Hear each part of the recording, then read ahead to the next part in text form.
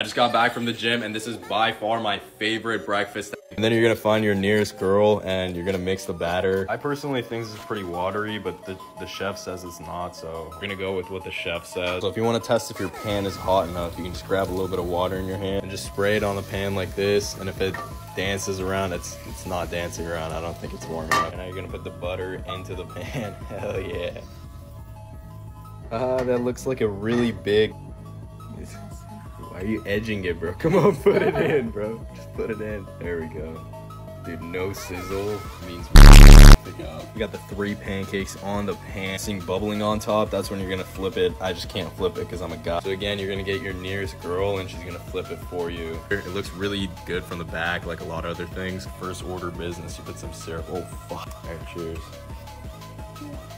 Dude, you're so, oh, that's so chef. Fully cooked pancake.